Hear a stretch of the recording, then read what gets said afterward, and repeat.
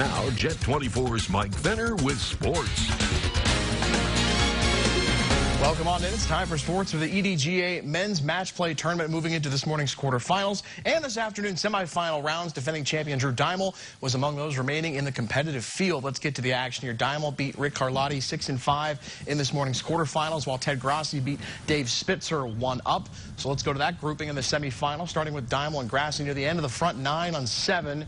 Deimel leaves this one just short. Grassi can't quite finish it as it's Deimel one up. It would stay that way into the back nine as well, up to a critical number 14 here, and it's Deimel teeing off on the par three, not only putting this one on the green, but an excellent shot here that nearly goes in, just a couple feet away there. Grassi going for par here and coming up just painfully close here with a narrow miss.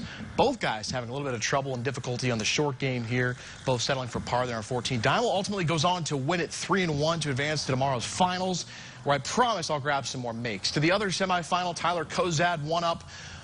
And how about uh, John Marriott?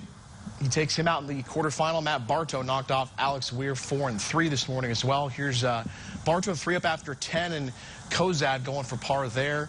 Barto and Kozad battling back and forth. Kozad would cut it to two up for Barto there on the back nine with a pair of birdies on 12 and 13. Chance to win it for Barto here, looking for bird on 17, one up. This one coming toward the hole, but just a bit short. Kozad staying in it, sinking it to take the hole here. And finally to 18, it's Matt Barto able to fend off Tyler Kozad, winning one up as the EDGA Men's Amateur Match Play Championship presented by Marquette Savings Bank comes down to a pair of Gannon golfers heading for the final. Matt Barto versus Drew Deimel tomorrow at Lakeview Country Club. Deimel trying to defend that championship. It would be nice to uh, see a couple putts go in. Uh, yeah, I, I, was just hitting a lot of greens, like middle of the green today. You know, taking the shorter club and trying to leave it below the hole if the pin was in the back. Try to just not do anything stupid. But tomorrow I might need to throw a couple darts. And then hopefully, you know, when I do hit it to 15, 20 feet, I can make one or two of them tomorrow.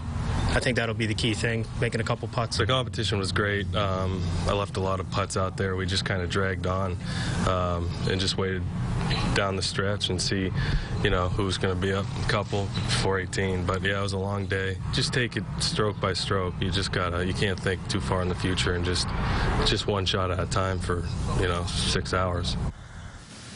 So it's defending champion Drew Deimel trying to go back-to-back in his third overall title since 2012. He faces Matt Barto, who makes his EDGA final debut tomorrow. It all gets started tomorrow at noon as that time has changed from 12.30 to noon at Lakeview Country Club in Northeast for the Marquette Savings Bank's EDGA Men's Amateur Match Play Championship. Beau Burrows will start